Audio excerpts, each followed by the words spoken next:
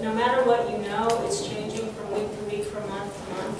And so really, it's better for an interactive approach, like Gerardo and I have been working together, and I come to him and say, what do you think, what did you hear, what should we do? And he does the same thing, and oh, this happened here, and we're starting to see certain trends. But even with the people that are really um, doing it all the time, I went to a two-day seminar about two or three weeks ago, and they've been in the foreclosure industry back in the, you know, the 80s and 90s, and they're saying, even though that they've seen this type of market before, it's still different than it was in the 80s and 90s. There's factors that are way different now, and so they're learning from week to week and month to month. They start these blogs so that everyone can, uh, you know, try to stay up to date. A lot of things are happening. Um, Sean gave me an article recently that is saying, you know, did you see that one? Yeah. You know, that even legislation is, you know, are we gonna do a bailout, or are we gonna at least stop 1099ing these poor homeowners, which is please, you know, after they've lost everything, they get a 1099, it just, you know, doesn't make a lot of sense. I mean, I can see for investors that, for people who are just working the system, you know, they probably deserve it, but, you know, a lot of these people are just homeowners that, you know, made the shot at homeownership, couldn't, couldn't handle it, but then, what, eighty percent did? So twenty percent of subprime is going bad, so 80% is not though. So eighty percent of the people who wouldn't other have, otherwise have the chance at homeownership are getting that chance, and they're, and they're like, yes, you know, so it's not all bad, it's just the way that you look at it. Um, There's a lot of um, statistics uh, that you can look at, a lot of different sources that are showing that foreclosures, and um, most of those being um, short sales or upside down properties is, is really high now and increasing in quantum ways now, and most people still think we're at the beginning of, of the tip of the iceberg. And then especially as all these option arms reset this year and next year, are you going after people who their, their loans are gonna reset and try to refi them? We are. Okay. Uh, reports that are coming out quarterly, just letting us know when they're coming due and trying to get them into something. And how, how successful are you are statistically in, in refinancing them before they, their loan resets and their payments go, woo, Pretty successful. most of the time? Yeah, I would say maybe about seventy percent Okay, what happens to the thirty percent? Um, either sales, other things are going on, um, where they're not concerned. It could be investment properties where they like the type of payment they're in and have other plans for the property. So a number of different things are going on with that thirty percent. Are you seeing anything where the people are, are gonna basically be in foreclosure Are you? if they, if if they either can't refinance or that when that resets? It, the, what we're capturing is people heading in that direction, so they're making the change.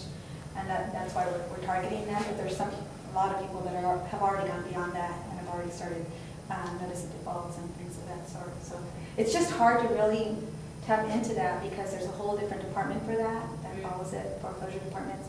So they don't really give us that insight, but when we get the phone calls coming in and we're, we're calling also out of our office twice, twice a week, two hours a day in the evenings, and capturing whatever we can of that business. And what are you doing with the people who you try to refi them and you can't, you know that in two months when their loan resets, that they're not gonna be able to make their payment, what are you doing in those weeks? Well, the great thing is I have you all here to, to Right. Because that's the ideal them. kind of thing, because it's, uh, that's one thing that's also been suggested to people who are following foreclosures and doing short sales and all of that, is that we get those leads of those people in those option arms and, and market to them. Um, So please, and everyone just sort of pitch in, because like I said, it's, it's everybody, um, Dawn, I hear, I read yesterday or the day before yesterday in an article where somebody said that there were going to be two million homes in foreclosure in the next two years. I mean, two million homes, there's only about six million homes that sell in any given year in the United States. Is this real? That almost one-third of all the homes, what, in California? no, no, no, this is nationwide. Nationally? Yeah. Well, you know, although I'm very optimistic um, about life in general, I think that I tend to um, buy into that we could be into the, that, that home prices across the board will fall um, for the first time since, what, the Great Depression? right? It's a great. Okay, but, eh, I mean, I look at all sorts of different newsletters and different things like that, and the thing that makes sense to me is, we're in for a lot bigger surprise than anyone's led us. Um, To believe. to believe, but that doesn't mean it's a, a bad thing necessarily. I think you just have to look at it realistically. Now, when, when Lereah got released from NAR, I told you this already, you know, he's been like sugarcoating the whole real estate industry since last, since the winter time, really. You know, it's like, oh, well, it's bad weather, it's bad weather. Then he, he leaves the NAR and he goes, uh, just kidding, we're in for a major recession. You know, once he's not, you know, a part of the organization and having to, you know, keep realtors alive and happy and all that. So, um, I think that, that it's gonna get, um, really, really interesting. In fact, this morning I met with a lady who's been in real, es- this is out in Corona, so she's, she's out in, uh, her specialty is Inland Empire, Riverside, and San Bernardino counties. She's been a broker since the early eighties. She's done notes. She made a, she made a fortune in notes, lost it, you know, keeps marrying these stupid guys, right? And so, keeps losing her money.